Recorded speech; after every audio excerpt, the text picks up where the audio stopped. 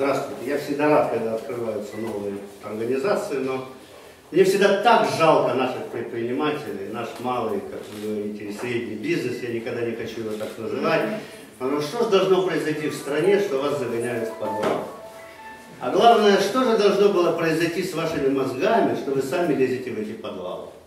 Вы сами лезете в этот подвал и сами себя обманываете в том, что в каком-то подвале на бывшей улице Чекиста какое-то произойдет экономическое чудо, или сюда будут собираться бизнесмены, чего-то коворки, сюда придут неудачники и несчастные люди. Они придут за тем, чтобы получить бесплатный компьютер, бесплатно съесть конфеток. Вы будете долго обсуждать ничего, ничего и не вынесете. Но я все равно желаю вам создавать такие организации. Единственное пожелание – нацельтесь на получение власти в этой стране. Потому что если предприниматели не получат власть, а их 740 тысяч в нашей стране, эти 740 тысяч пытаются превратиться в то же стадо, которое их окружает, а самое главное, часто и бывают этим стадом, часто превращаясь в баранов, которых стригут каждый день. И что же хочет власть в этом случае получить? Первое, что она хочет, чтобы вы не лезли в политику и не создавали партии, а создавали бесконечное множество общественных организаций. Чтобы вы, не дай Бог, не поставили под сомнение их власть, потому что под ними создавайте все, что угодно. Более того, я уверен, что вас завтра кто-то поддержит из политиков. Более того, я уверен, что вас завтра используют те же политики, которые сегодня сидят в телевизоре. Поэтому, если вы не возьметесь, не одумаетесь, а будете сидеть в подвалах, создавать свои маленькие организации и не использовать тот потенциал, который действительно у вас есть, не станете жадными до власти, не станете хватать эту власть, не объединитесь под одной, ни под тремя, ни под четырьмя идеей, вы пропадете. Как пропаду я вместе с вами. Но у меня есть возможность уехать в Штаты и жить там.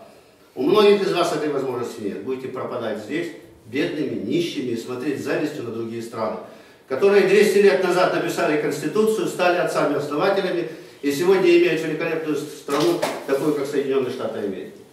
Вы должны поставить перед собой эту цель, благую, и объединиться в одну партию. У вас не должно быть много организаций. Доверьтесь кому угодно, но доверьтесь. Присоединитесь кому угодно, но присоединитесь.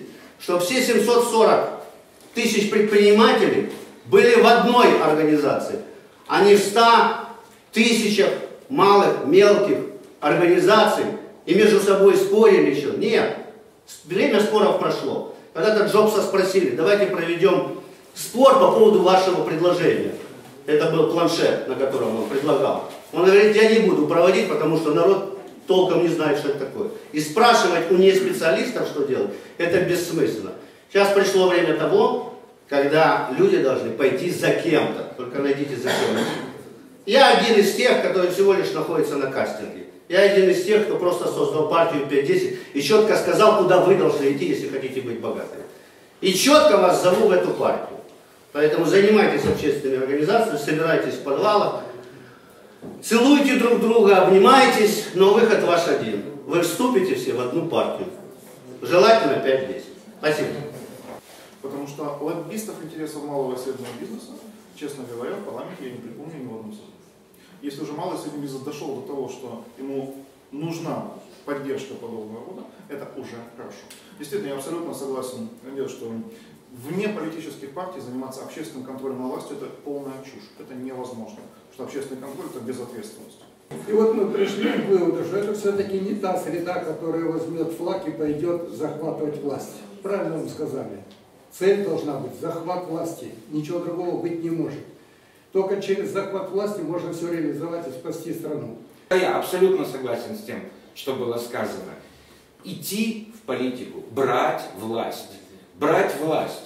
І я не можу не погодити з Геннадієм Балашовим у сенсі необхідності е, життя заходів до синергетизації суспільного життя, політичного життя.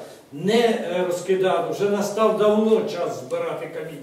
Але комусь невигідно, щоб хтось збирав каміння, особливо, щоб збирали каміння ті, хто знають, як його зібрати, які душу дьяволу не продадуть, і які прагнуть розбудовувати свою державу, а не годувати інші е, країни.